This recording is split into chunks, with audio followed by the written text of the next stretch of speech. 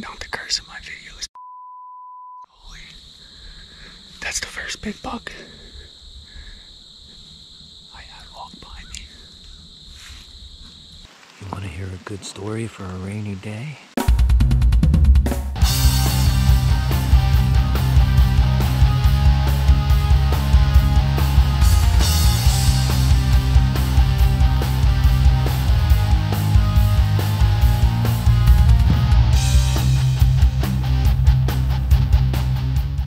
Saturday morning, bright and early. I'm dragging Merle's ass into the bush. He's gonna push me to go to that spot, and uh, we're gonna get after it and hopefully get that buck. So we'll catch you later. If it keeps pouring like this, I'm gonna be screwed. I wanted to come out for an evening sit, and it was calling for 30% chance of rain by 6 p.m. When I got in here, it was only 3:30, and as soon as I got halfway up my tree, it started pouring, and I didn't bring my umbrella. I found the cover for my backpack, and that's the best I can do. I'm in it now. I'm not getting down. It's a really good spot. I have to give it to my son. He bought his first bow last year. And this year he has access to 30 acres, and he decided to take the reins and take control and get out on his own. And I'm super proud of him. Two days ago, I got home from off the road. I just walked in the door. It's about 3:15 p.m. My phone rings, and it's my son. I answered. Said hello. He says, "Dad, can you hear me?" I said, "Yeah, what's up?" He says, "I just had a doe walk by me at 18 yards."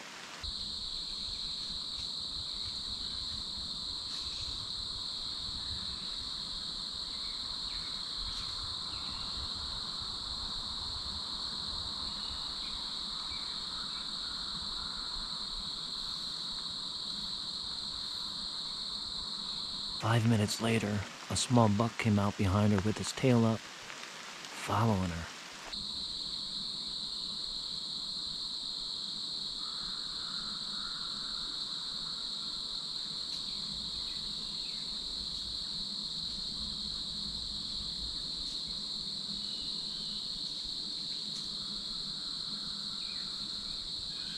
And he's all beside himself. I could tell he was shook up and Next thing you know, he says, I gotta go.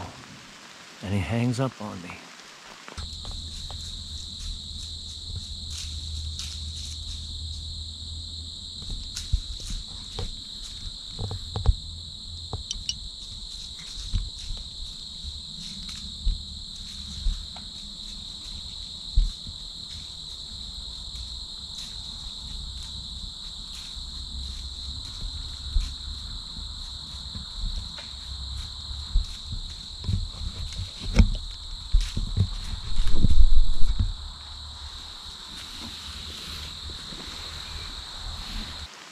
About 4:30 p.m., he calls me back. Says, "Dad, I just had a big buck come up. Followed the trail of that doe and the other buck with its tail up. Started kicking leaves around. He said, but my bow was too far to my right on the tree, on the hanger. I couldn't reach it right, and I didn't want to spook him.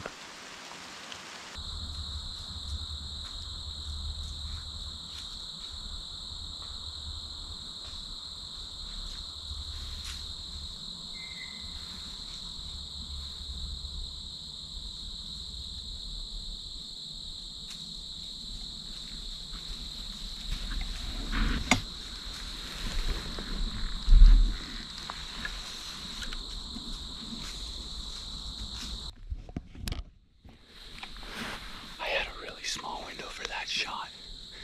There was just too many branches in the way. I even tried bleating at him to get him to stop. He had interest in stopping. Oh my. Oh my.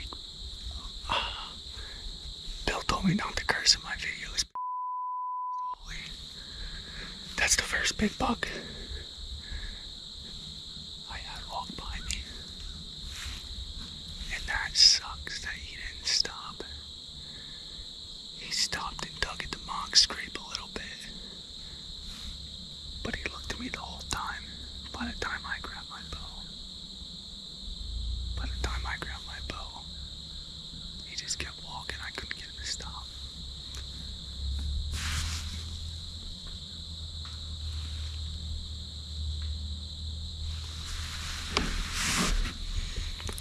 saw him coming 40 yards away.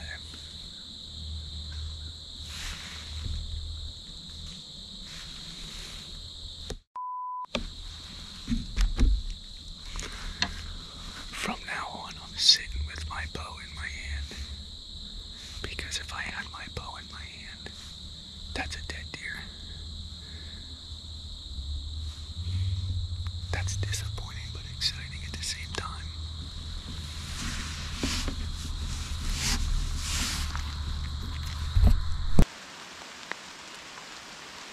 So he ended up not taking the shot. I told him just stay put. Then might circle around and come back through. So at the end of the night, I was settled down. He gets home from being in the woods and he shared that video with me.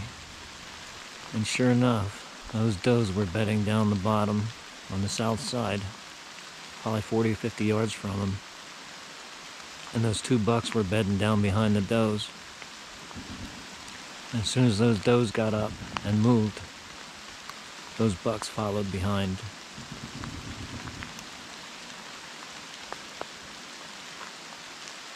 So that's telling me that it's beginning. The bucks are starting to follow the does. They know something's coming and it's time. My son's gonna get back in there Saturday afternoon, probably around noon, and hopefully he can get it done. Can't wait to see what happens. Anyway, this rain's not letting up. Been raining steady ever since I got in here.